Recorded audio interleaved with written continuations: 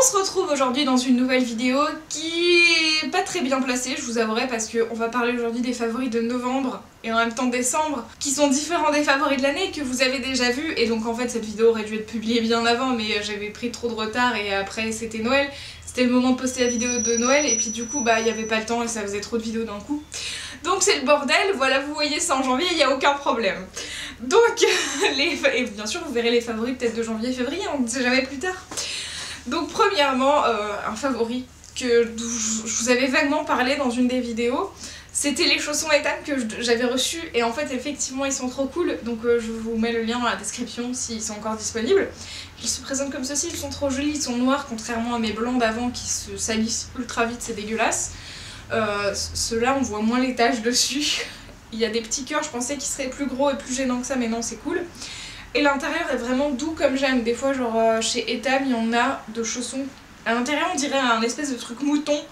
Et en fait, ça gratte, je trouve ça insupportable. Ceux-là ne sont pas comme ça, donc c'est cool. Voilà, et comme bien sûr, on doit être à peu près début janvier, donc ça doit être la période de solde, donc peut-être qu'avec de la chance, ils sont en promo. Voilà. Donc je vous laisse aller checker ça si ça vous intéresse.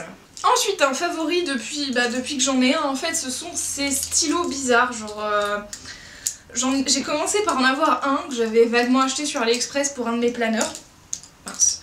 Et, euh, et, le fait est qu'il y avait plein de couleurs, plein de trucs, plein de possibilités, que comme j'ai 20 000 planeurs, je me suis dit, eh, j'aimerais bien avoir un stylo par planeur. Et que maintenant, même, cours, même mes cours, je les écris avec, donc il faut qu'il y ait un stylo dans chaque trousse. Enfin bref, c'est le bordel, j'en ai 20 000. Et, euh, et j'aime bien en avoir 20 000 différents, voilà. Donc euh, ils sont très chouettes, ils écrivent vachement bien.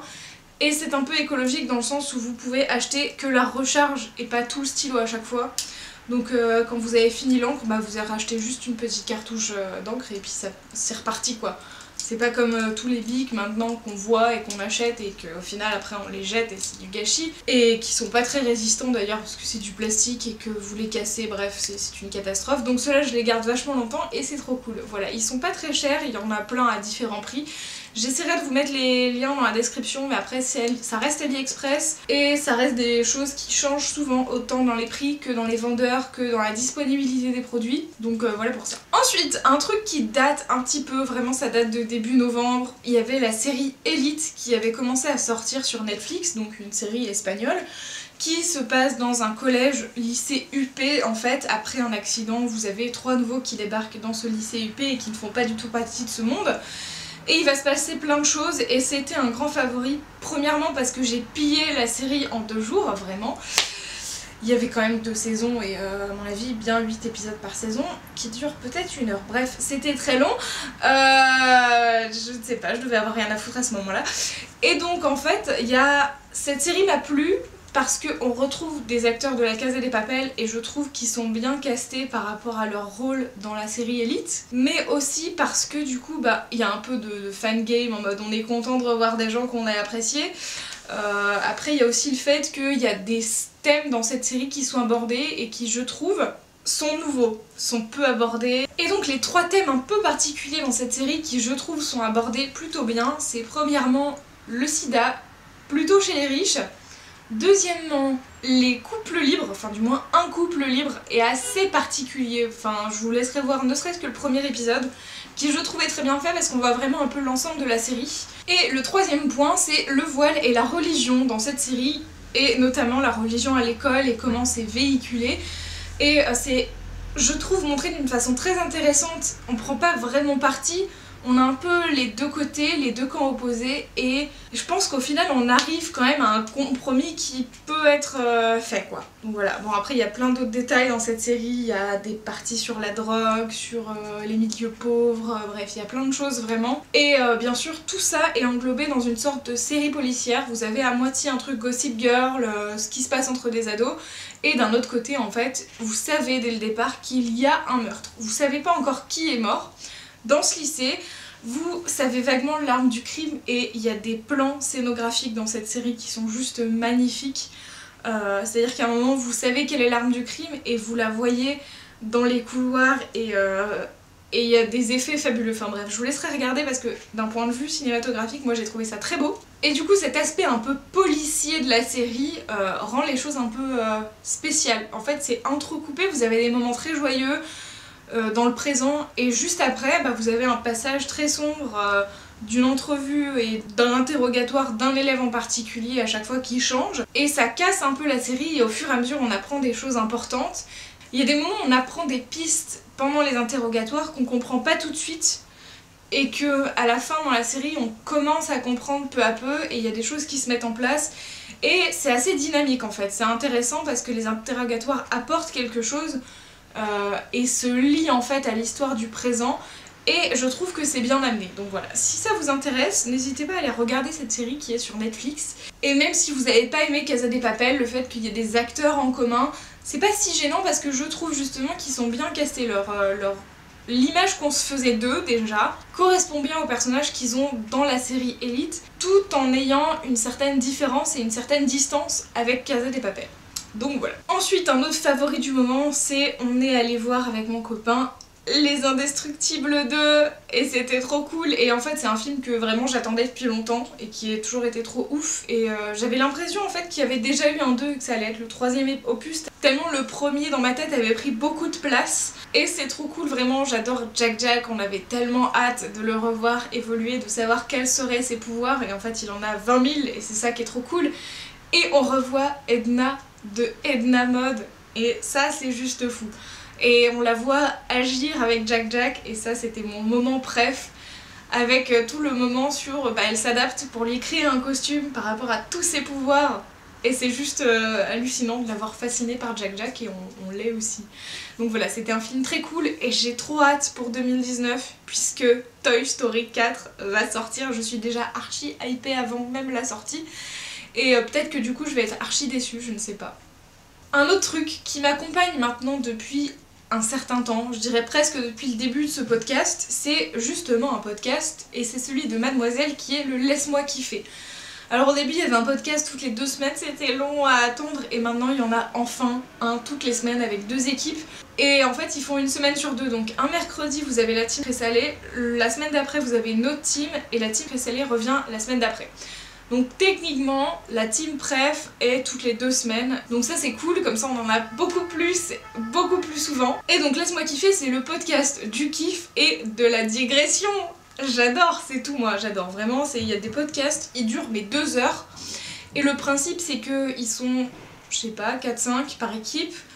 Et en fait, pendant toute une émission, ils vont donner un mini kiff du moment et un gros kiff du moment. Donc en gros vous avez 10 kiffs comme ça qui sont cités, plus après il y a plein de digressions. Et donc grâce à ce podcast j'ai appris plein de trucs, j'ai découvert des films, des séries, euh, des spectacles, enfin plein de choses. Voilà, à chaque fois ils parlent de trucs et on a envie de les découvrir ou alors ils parlent de trucs qu'on connaît et on est en mode ouais c'est trop cool et limite on se replonge dedans donc bon voilà ça dépend mais du coup ça m'occupe beaucoup sur les trajets de métro entre euh, mon taf, la fac, le travail, la maison, tout ce que vous voulez en fait dès que j'ai mon casque et du temps dans les transports en commun j'écoute ça voilà, ça a un peu remplacé les grosses lettres de RTL. Euh, J'y reviendrai sans doute à un moment, mais pour le moment, c'est Laisse-moi kiffer. Donc avant, j'avais un peu de retard, donc j'en avais à réécouter et euh, à découvrir, et maintenant, bah, je suis à jour, donc du coup, c'est un peu limite.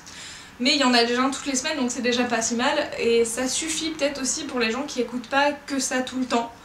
Donc ça peut être chouette et je vous laisse découvrir. Moi j'adore Mademoiselle et il y a des gens euh, de la rédac qui sont juste fous et que j'ai trop hâte de suivre même après plus tard quand ils sortiront de Mademoiselle. Donc dans les podcasts LMK vous avez donc... Euh, il y a Cédric, Mimi, Kalindi, Louise, des fois ils ont des euh, invités particuliers quand ils sont absents, quand ils doivent faire des remplacements, voilà, des fois ils ont des invités trop cool. Et sinon vous avez Queen Cam, Fab Florent, Queen Cam et Marion Séclin, et vous avez aussi Louise qui est un petit peu euh, la queen de LMK et qui fait donc toutes les émissions puisque c'est elle qui gère quand est-ce qu'on passe à la suite, c'est un peu euh, voilà, la présentatrice de Laisse-moi kiffer, et donc elle vous la retrouvez toutes les semaines. C'est un podcast super cool que je vous recommande, et bien évidemment c'est gratuit d'écouter des podcasts et c'est trop cool et euh, j'ai mis du temps à découvrir en fait que ça existait dans le sens où euh, bah, j'avais supprimé l'appli podcast de mon téléphone pour avoir plus de place et, euh, et j'ai oublié qu'il y avait des trucs cool dessus.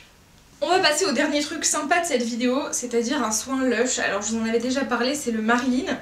Et en fait, pendant très longtemps, il existait en format solide et plus en format liquide, ou alors vous pouviez le trouver que en Angleterre ou éventuellement sur le site en format liquide.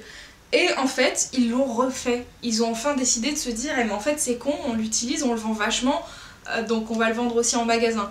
Donc c'est cool, il est pas très cher, il coûte peut-être genre 13-14 euros et ça vous dure une éternité, voilà, il en faut vraiment très peu. C'est un soin essentiellement fait pour les blondes, les cheveux décolorés et ça nourrit de ouf. Si vous avez les cheveux gras, je suis pas sûre que ce soit vraiment pour vous et ça évite d'afficher des cheveux au reflet cuivré ou jaune. Alors après moi c'est déjà le cas mais parce que c'est ma couleur euh, de décolo quoi, ça fait pas non plus des miracles. Mais ça aide beaucoup à entretenir et surtout ça aide à ne pas faire mourir votre cheveu et le laisser comme ça pantois après une décoloration un peu hard. Donc voilà, moi ça les a un peu clairement sauvés. Et c'est un produit donc que je vous recommande surtout si vous avez envie de faire de la merde avec vos cheveux, de les décolorer, de les colorer dans des couleurs bizarres et de leur faire du mal euh, juste pour que ce soit joli je vous le recommande parce que ça vous aidera à garder des cheveux sur la tête. Pourquoi il pas claque dès qu'il arrête de filmer Mais je ne sais pas Je ne sais pas, moi aussi j'aimerais bien. En fait, ça fait claque quand il arrête de passer en mode euh, visio sur l'écran. Hmm. Bisous. Et ensuite, pour clore cette vidéo, on va passer à quelque chose de rare qui est un flop. Un flop Netflix, un flop cinéma et un film horrible qui s'appelle Cam, C-A-M, et qui avait l'air marrant, enfin du moins il avait l'air sympa pour découvrir un peu ce monde bizarre sous une vue cinématographique. Et en fait, c'est l'histoire d'une cam girl qui a pris le pseudo d'Alice et euh, qui fait des shows érotiques sur internet. Et son objectif, c'est sur le site arriver au numéro 1.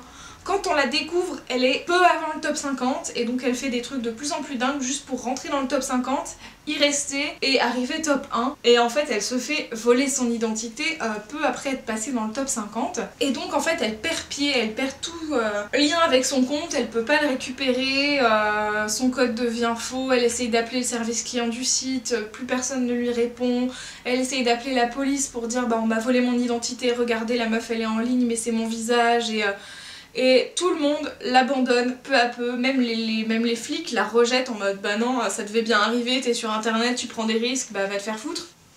Quel moment?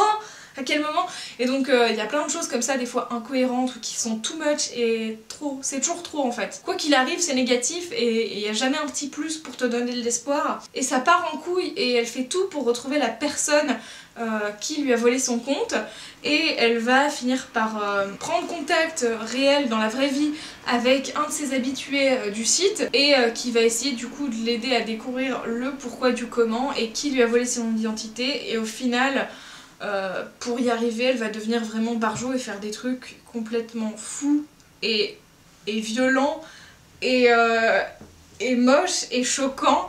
Et donc je ne vous le recommande pas du tout.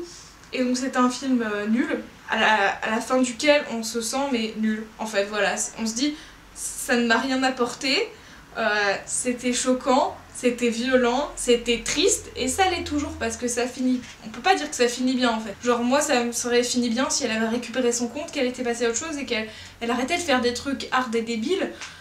Et en fait, non, non, ça ne finit pas du tout comme ça. Attention, spoiler. En gros, à la fin, elle récupère son compte, elle le supprime pour pas que ce soit de nouveau hacké, elle recrée un nouveau compte avec une fausse identité, une perruque, et elle recommence tout de zéro, en mode euh, timbré quoi en mode aucun problème. Donc c'était très décevant et on reste un peu sur sa fin en mode non en fait, non. Alors on comprend qu'elle est un peu accro à ce site et à, à ce métier en fait et elle perd, euh, des membres de sa famille euh, qui lui tournent le dos parce qu'ils ils étaient pas au courant, enfin il y a plein de trucs comme ça. Et, euh, et ouais non il y a, rien pour rattraper ce film, il y a rien, il y a pas un moment de positivité. Et, quand on pense que ça peut pas aller plus bas et plus dans le nul, et ben ça y va quand même. Donc voilà, je ne vous conseille pas ce film. Donc si vous avez des films nuls, des séries nulles, des trucs à pas voir, euh, notamment des trucs sur Netflix, dites-le en commentaire que, je me pourrisse pas la vie plus tard avec d'autres trucs nuls. Au cas où, voilà, si, vous en avez, dites-le. Voilà. Euh, j'espère que cette vidéo, malgré tout, vous aura plu, même si elle finit pas très bien, du coup, c'est un peu nul. Et, on se retrouve très vite pour de prochaines vidéos. Prenez soin de vous, ne regardez pas Cam. Ciao, ciao.